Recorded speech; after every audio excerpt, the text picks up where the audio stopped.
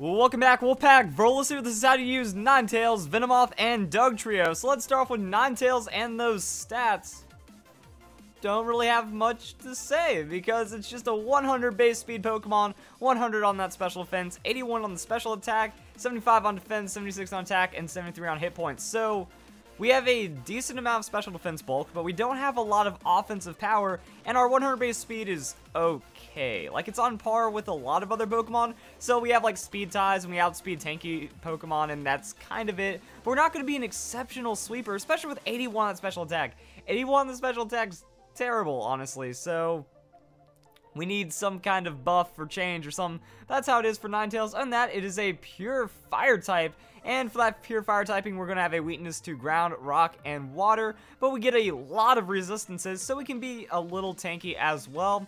Bug, steel, fire, grass, ice, and fairy.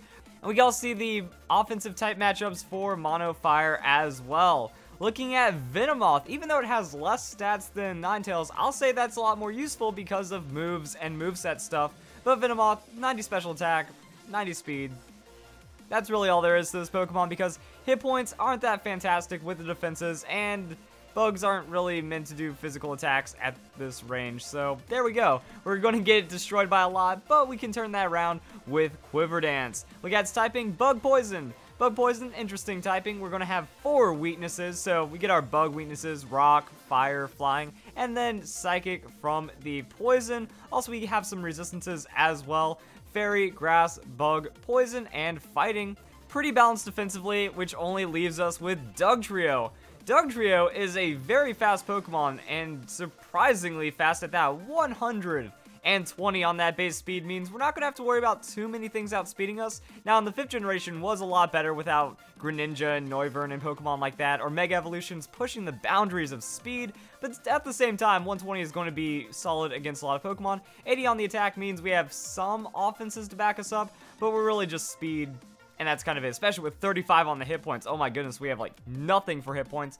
Pure Ground is going to work, mostly just because Stab Earthquake is amazing. If you don't know what Stab is, same type attack bonus, 50% more damage on ground type moves used by ground type Pokemon, and the weaknesses are Water, Grass, Ice, we have the immunity to Electric as always, and we resist Poison and Rock. So those are going to be the stats and typings. Now let's go over and hop into Pokemon Showdown. We start off with Ninetales. So Ninetales is going to pretty much be only used for Drought, and unfortunately, Mega Charizard Y has pretty much invalidated anything that Ninetales could be. So using it in doubles, singles, all kind of the same. What you want to do is set up the Drought, hope you outspeed your opponents, and then do as much damage as possible. There is one benefit to Drought, and that is Sunny Day will make it to where you have 50% more damage on Fire-type moves, so special attack gets a little better. Kind of pushes us up to around roughly I think like a 130, 135 special attack. Only while Sun is out, only while we're using a fire type move though. Then we just like Heat Wave, stab into Life Orb, and hope to get the most damage down as possible. Also, Solar Beam is only one turn, so good grass coverage right here. Then we have Confuse Ray and Psyshock. Psyshock, Psychic, adds to the list of things we can do. And Confuse Ray, I think it works out. If we can outspeed a, an opponent that's trying to set up and just lock them down a bit with that Confuse Ray, they hit themselves in confusion, they eat a huge Heat Wave under Sun, that might be a way to knock out some Pokemon without taking any damage, which is what Ninetales wants to do. Also, Ninetales can be bulkier or just can be like a Heat Rock Sun Pokemon. So you drought on that Heat Rock, and that's going to give you 8 turns of Sunny Day, which is going to be really nice if you have like Chlorophyll or Synergy on your team for that. Works out in doubles pretty well, and that's pretty much most of it. Like the Heat Rock's going to give you three more turns over a Charizard Y, but you are going to have the same speed, much less special attack, and then you can play for the utility side of things. So Ninetales does bring good utility with that Will-O-Wisp, and it can also run a couple of other things. Unfortunately, it doesn't get the Morning Sun. I think that that would be absolutely massive if it had some way of healing under that sunny day. But when we look at it, uh, we get interesting things. We can Hypnosis, so if we want to play that 60% accuracy game, there's a chance for the Hypnosis. We have Hex, so there is Ghost coverage on this Pokemon as well. Foul Play to do consistent damage to physical attackers on your opponent's side of the field. And that's mostly it. Now, there are some really interesting things that you can maybe do with the right setup on Ninetales. Does get Calm Mind, so it can get really tanky. Also does have Safeguard and Nasty Plot. So on this offensive set, instead of Confuse Ray, you might want to use the Nasty Plot if you know you're absolutely not going to get blown up. Like your opponent's going for setup, Nasty Plot into Heat Waves will be pretty nice. And if you don't want to play that 90% accuracy, we have Flamethrower for just a little bit less damage. So there we go.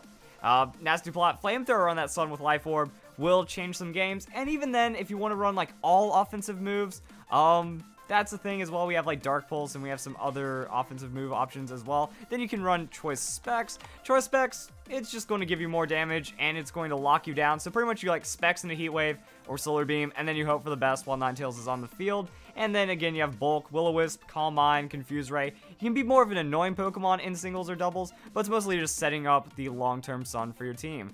After that, we have Venomoth.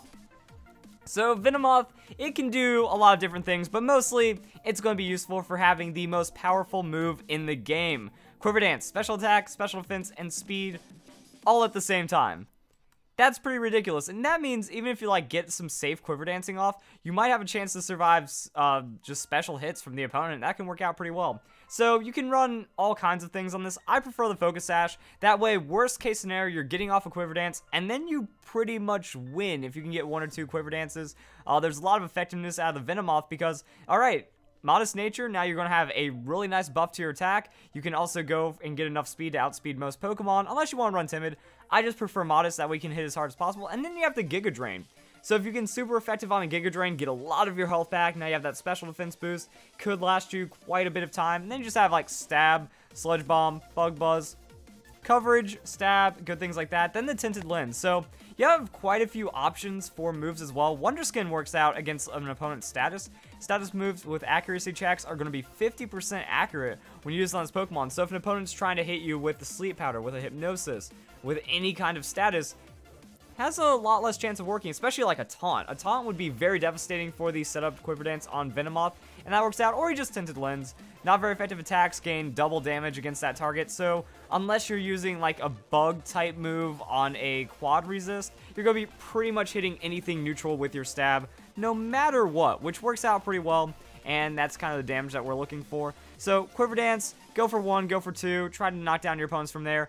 Venomoth works really well as a lead because if they're setting up Stealth Rocks, if they're trying to get momentum on their field through their own setup, your setup could be a lot more powerful with this Quiver Dance, unless you go up against something like a Volcarona.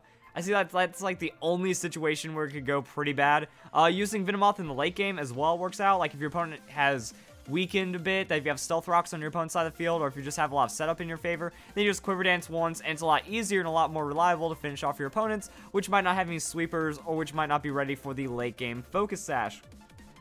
Other things Venomoth can do it does get the sleep powder, which you can use to your favor, and then you can also like run different kind of moves, different setups. Baton Pass is going to be a big one on the Venomoth that you Quiver Dance once or twice, and then you Baton Pass that. So now you have the gift of Quiver Dance to any of your opponents, and that can be devastating. You also do get the Psychic, uh, Psychic coverage over Grass or Sludge Bomb or whatever you want to do. Actually, Sludge Bomb, with all the fairies running around, Sludge Bomb's a little too valuable to just give up like that. You also have Energy Ball if you want more damage over the sustain from the Giga Drain, and then we have it like Stun Spore, Sleep Powder, that's where like you can make your decisions as well. If you're running Sleep Powder, you give up a coverage move, but your opponent goes to sleep, more guarantee on the Quiver Dance into 2-hit KO, or 2 Quiver Dances into a super effective finish, depending on what Venomoth is going up against, or again, you could just sleep an opponent, Quiver Dance, Baton Pass for free, and then things might work in your favor. And then there's Dugtrio. So Dugtrio is a crazy Pokemon because it's so fast, brings utility, but almost doesn't do a lot of like any damage actually. Life Orb will find you some 2-hit KOs on like Earthquake or something like that. I was thinking for doubles, Dugtrio works out because you Arena Trap the opponent. So unless they're airborne, you just stick them in there. And I like Dugtrio with the idea of just like going for a lot of multiple damage. You know, Earthquake's going to hit the opponent's fairly decently. Rock Slide has the chance to flinch, or if you don't want to go for damage, you can just go with the Focus Sash and really just become a massive frustration because now you're fast, now you're risking Fissure, or now you're threatening Fissure, and if the opponent isn't focusing you, you can maybe make that work out. You know, first turn, use Fissure, they don't see you as too much of a threat. Second turn, they hit you, use Fissure. Third turn, use Fissure. You might find some KOs, especially if you're outspeeding the opponent at that rate. And also Protect, use it to soak up a move. Mostly, you're sticking in your opponent, using Fissure on them, hoping for the best as kind of just an RNG support. But you also have some damage to back you up if needed as well. This one's going to be pretty obvious. Jolly Nature, max speed, max attack. Dugtrio is going to put in the work.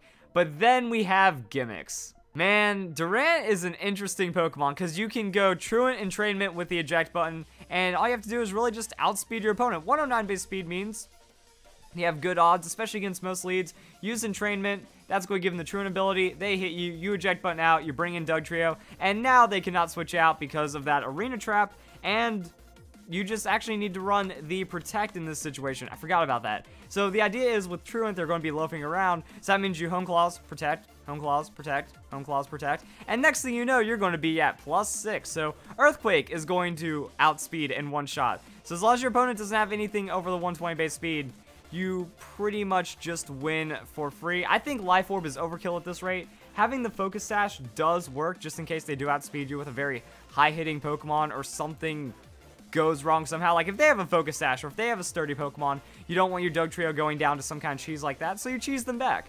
So you set up in that Stone Edge. You don't have to worry about the accuracy because with Hone Claws, your accuracy goes way up and it doesn't matter at that point. And then Earthquake works out as well. Stab damage, hits whatever, GG stuff like that. Now, unfortunately, accuracy modifiers do not affect Fissure at all. Like, it would be so cool if you could hone Claw six time and then Fissure your opponent off of this strategy, but that's not how it works. Either way, Earthquake Stone Edge, that's like one hit KOs regardless once you're at the plus six. As long as your opponent gets stuck with the Truant thing, pretty much over at this rate. Um, other than that, Dugtrio does get a couple of other things. You can use Final Gambit, except you don't have a lot of hit points to really make it count. That would be some fun cheese, just outspeed Final Gambit. That doesn't really work out in the end, though. You also do get the Sucker Punch, but it kind of goes against being like a super fast Pokemon. And I have seen people run the Shadow Claw on Dugtrio. Having the super against Dart type, or having the super against Ghost type and Psychic type Pokemon can be valuable, but that's kind of it. So mostly Dugtrio is going to be like just cheesing people with super amounts of speed, or maybe converting the off two hit KOs, or just covering in doubles pretty well. That's it, guys. Hope you guys enjoyed the video. That's how you use Ninetales, Venomoth, Dugtrio. Hope you all have a nice day. Thank you very much for watching.